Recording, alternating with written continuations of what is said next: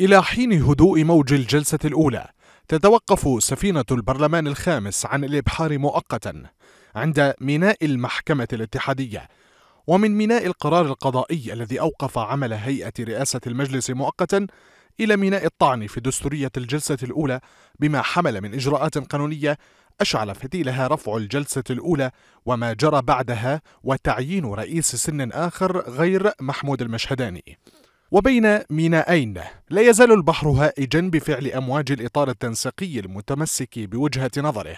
وبين الطيف الواسع داخل المجلس والذي يحمل راية القانون تماما كما توشح أغلبيته برداء أبيض.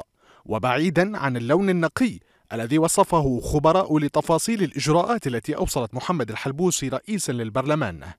إلا أن ضبابا يلوح في سماء العملية السياسية قد يعرقل انسيابية البرلمان بعد أول جلسة في مشواره العصيب. ومع هذا فإن الطمأنينة التي أرسلها المركز الإعلامي للمحكمة الاتحادية بالتوضيح حول قرار المحكمة على أنه لا يؤثر على سريان المدد الدستورية إلا أن الأفق غير واضحة ملامحه اليوم. فحالة الطقس التي تصاحب مواقف الرفض والقبول على الكتلة الأكبر هي التي خيمت بظلالها على مجلس النواب.